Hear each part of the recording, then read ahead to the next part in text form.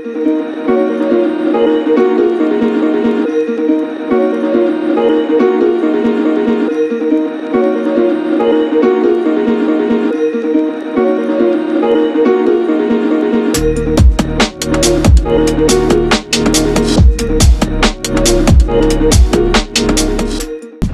are one week out from the Cocodona 250. Woof, where did the time go? It's so crazy to think that in less than one week, I'll be starting the adventure of running 250 miles through Arizona. Let's fucking go.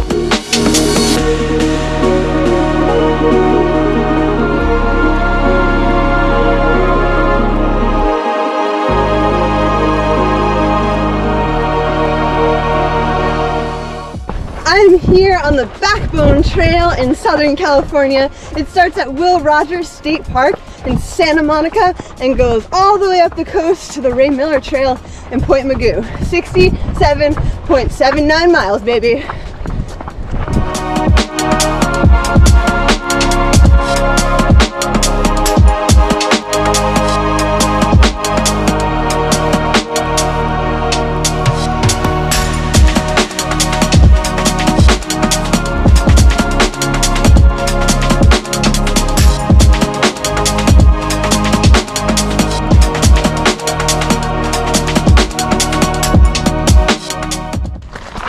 The Trail is particularly special to me because, well, A, it's been an amazing training ground for Cocodona 250, but B, back on January 1st, I set a new female FKT out here.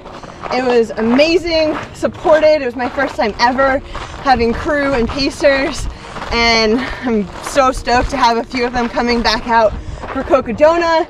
And then when that time was broken seven days later, I decided I need to come out and get some more. So I ran an unsupported effort on the full stack 67.79 miles.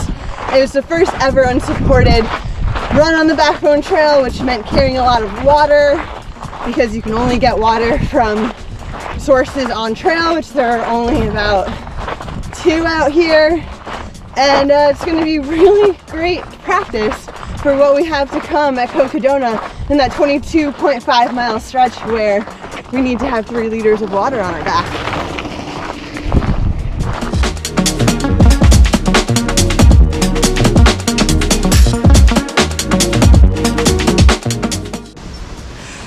Cocodona has been so much fun. I'm so grateful for the opportunity to have interviewed amazing athletes like Karl Meltzer, Pam Reed, Ben Light, Drew Fraze, and Brianna Grigsby.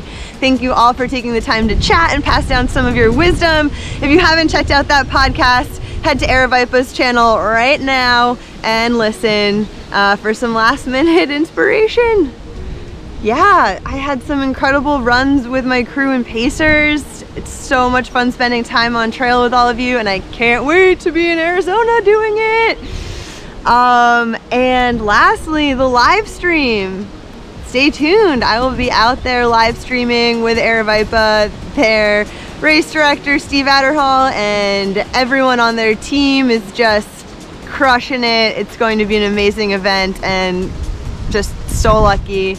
Let's go. See ya in a week. Thank you.